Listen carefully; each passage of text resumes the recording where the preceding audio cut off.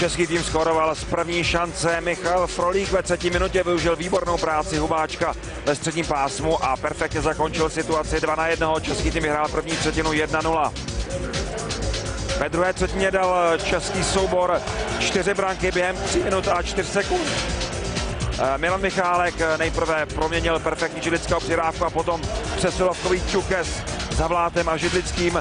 Michal Frolík tečoval z celou část slavy, zvýšil na 4-0 a Tomáš Plekanec po zmatcích v dánské obraně upravil na 5-0. Ve třetí třetině naskočil do hry 13. útočník Petr Průcha, ke kterému se odrazila Frolíková přihrávka o brusle dánské obránce. Průcha stanovil konečné skory